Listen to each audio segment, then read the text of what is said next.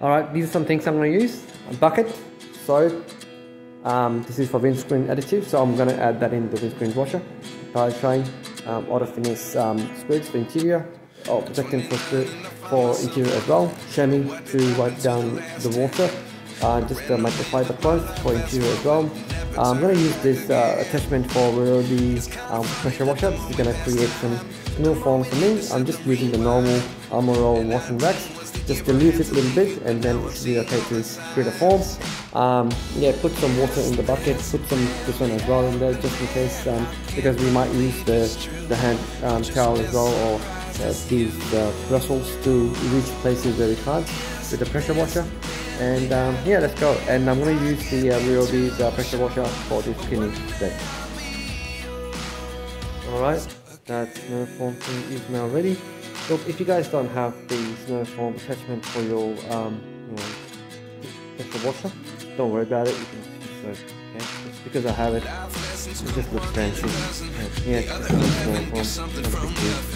Not do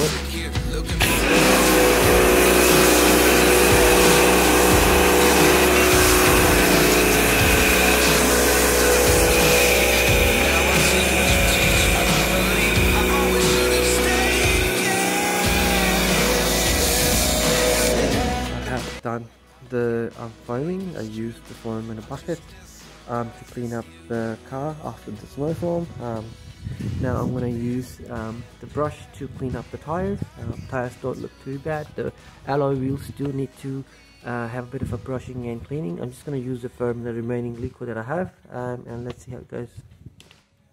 Alright, let's clean up. I'm just going to use the foam first, and then I'm going to use the brush.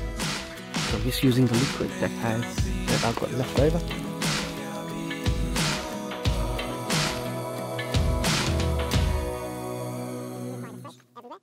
Life lessons come one in a dozen. The other eleven get something from nothing. Life lessons come one in a dozen.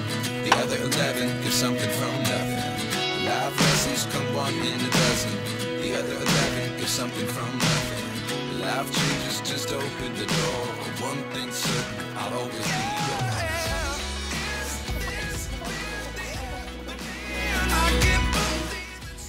Clean up this site.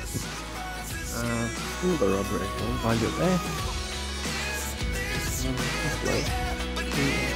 Take the time. No rush. Yep.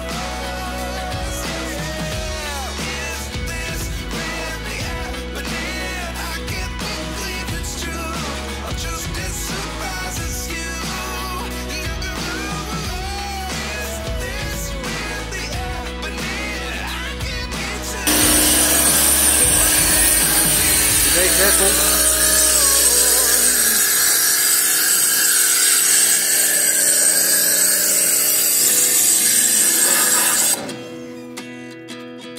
Don't overspray in the interior.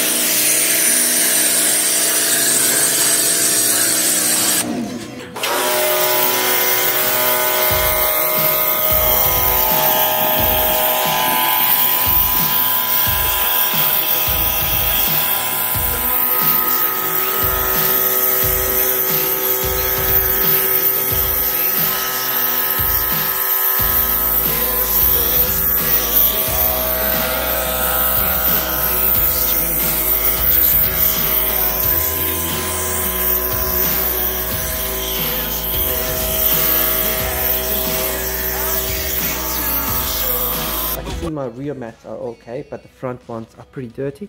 So I will definitely put some soap on that and then use a pressure washer to clean it all up. If they don't turn out nice, I'll probably have to order new ones, but if they turn out nice, you can just put them in, just let, them dry um, nicely and now just do a nice wipe. Alright, so the car has now been cleaned. I'm gonna use a bit of this um, Kittens cut and polish number two now I'll tell you why I'm using this and where. First of all, let's inspect some sections of the car. Now, if you see here, there's a lot of scratches.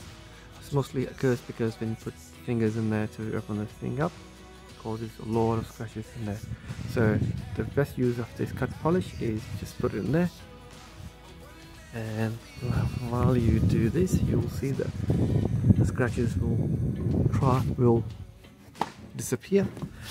You have to rub it in a circular motion like this. And also do the sides if you're there just in here as well. Just like so. And also on this side